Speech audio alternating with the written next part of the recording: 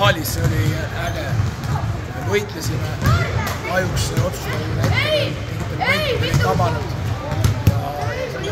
täna läks nii, seeria läheb edasi, kolmapäeval juba Pärnu, loodetavasti tulevad ja kutsuvad samme